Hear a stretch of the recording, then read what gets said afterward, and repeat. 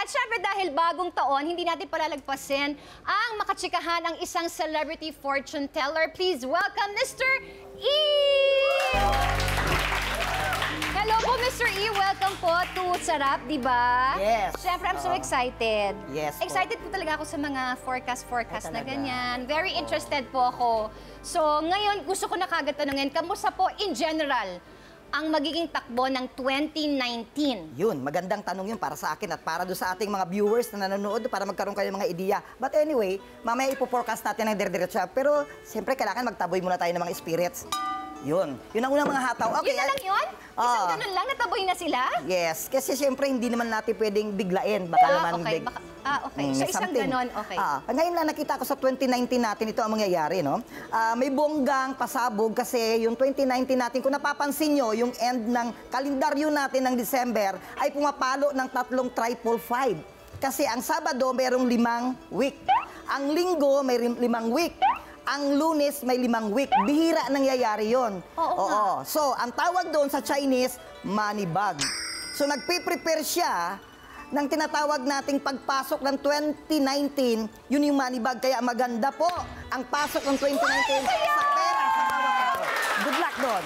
Para sa ating lahat yan? Yes. Money bag. Money bag ang Uy, December ang saya.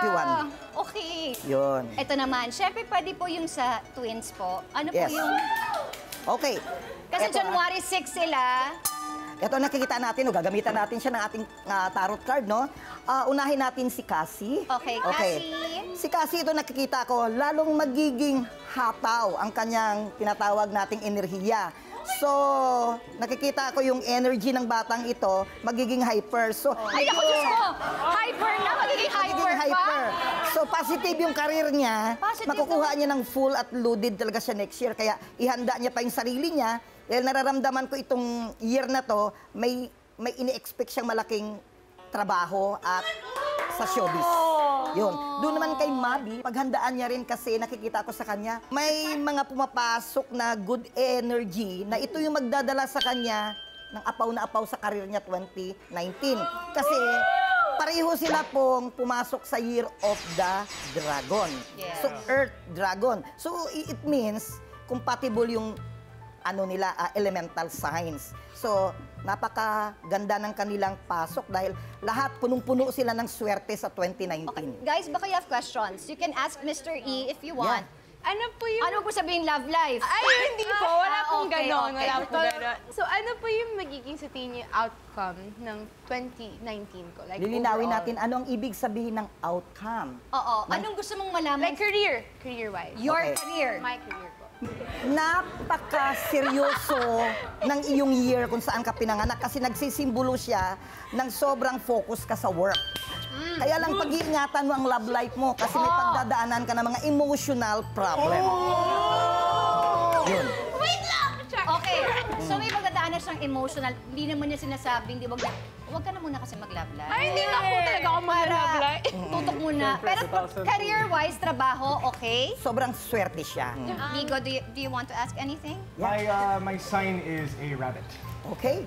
The amigo, lagyan yung sarili mo ng balanse. Kasi pag ikaw nalungkot, at may mga bagay ka na hindi ka magiging masaya, hihina ang karir mo. Yo. So, nandun ka sa positive way lagi. Okay, so parang ganito, parang in general, Yeah. pag if ever man magkaroon ka ng problema or disappointments, don't lose hope. Huwag kang Yes. bibigay kagad, whether may tarot cards or wala. True. So lahat naman sa atin, di ba, pag nagkakaroon ng problema, pagdadapa, bumangon, don't True. give up. Tama Yes. And don't Yes, lose your focus.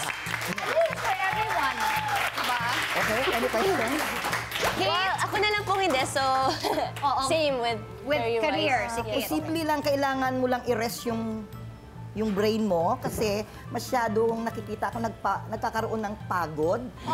So, kailangan mo ng So true. positive energy.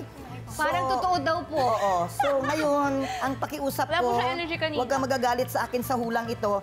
Kung maghihina ka, lagi ka may topak. So, kailangan mo lakasan. true, Char. na Accepted naman. Balansihin mo ang sarili mo at pag medyo hindi mo kayang kontrolin, siguro kailangan mo na ipahinga mo. Yun lang yun. Tama. We all need to, ano, to have a, a break.